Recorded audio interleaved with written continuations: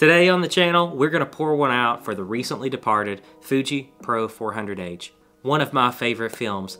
And sadly, we can't shoot that film anymore because Fuji, in their infinite wisdom, discontinued it. They actually said it was because they couldn't secure materials anymore to produce the film, but either way, the film is no longer with us. So today, guys, I'm gonna show you how to make an extremely accurate Fuji Pro 400H preset in Adobe Lightroom. So let's get to it. All right, so first we're gonna open Adobe Lightroom and we're gonna get a picture with a lot of green in it.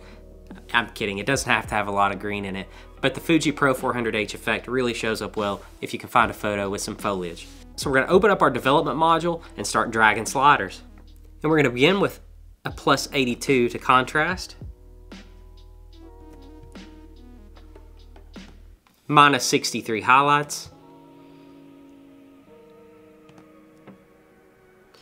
plus 29 to shadows, a minus 53 to whites, and a plus 80 to blacks. That's really flat in the frame a lot, and right now we have some really wild greens. We're gonna go down to the texture slider and plus nine there. It's gonna give it that little bit of film graininess look.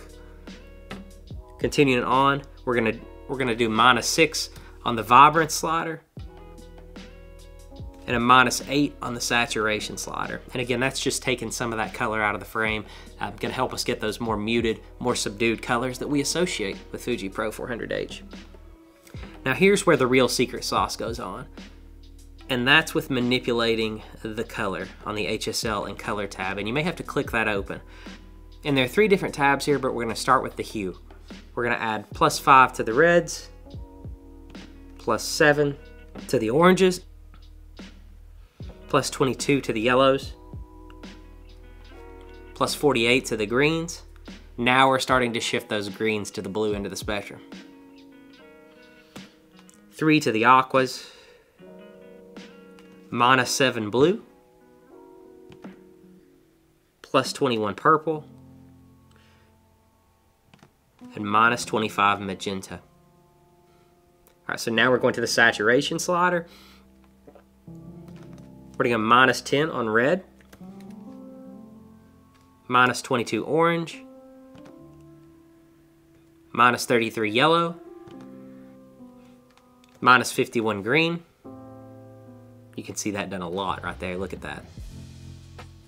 Plus 7 to, the, to aqua, plus 5 to blue, minus 11 purple, and minus 39 magenta.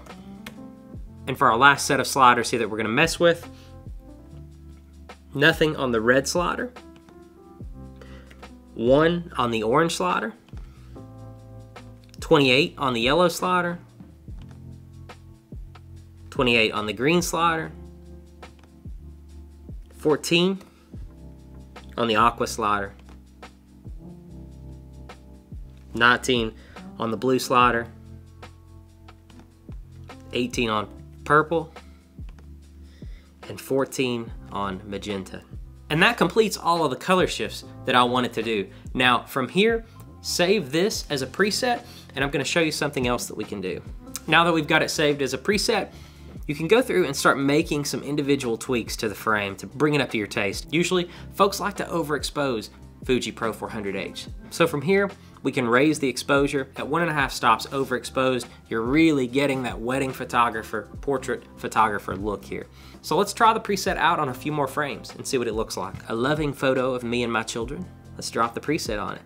And it isn't as pronounced. This is what I was getting at at the start of the video when I said you want to pick a shot with a lot of green in it. This shot doesn't have as much green, and you can see it didn't do as much. But it still gave really good, accurate, if a little cool colors. So we're gonna raise the exposure on that a little too, and there we are. A really nice film look on that shot. A picture of me holding my dearly beloved, and we'll crop that vertical. And again, we'll drop the preset on it there. So guys, that's how we make a really accurate Fuji Pro 400H Lightroom preset. If you thought this video was cool, check out this video where I show you how to make an accurate Aerochrome Lightroom preset. Give that a look.